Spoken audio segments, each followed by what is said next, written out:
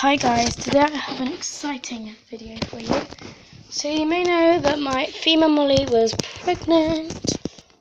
That's her there, you can see she's not very fat anymore. They're mating already. She actually gave birth to eight babies and that was it, but one of them did pass away. So we've got seven babies alive and doing quite well. So they are in this little bowl here. Um, look above, you might see some Have a look. Can't really. There's one just there. Let's see.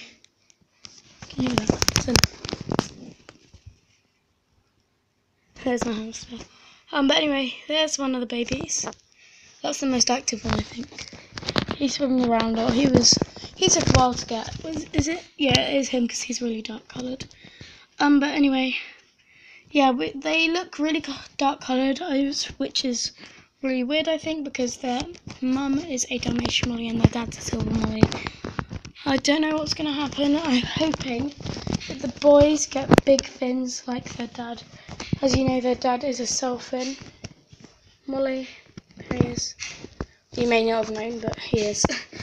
um, but he's just there, and there's their mum, and there's the dad. So that was pretty cool that this happened and the babies did survive, which is really lucky. This morning it did make me late for school because I had to get in there and get them all out before I went to school, but it was worth it. They're really cute. I'm hoping they grow up and I will keep them all because there's not many of them. They probably will go with their parents and breed away in a big group.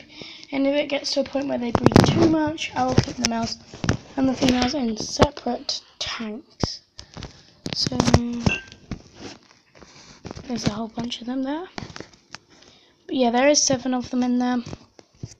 It's really a shame that one of them did, pass away. Um, so yeah.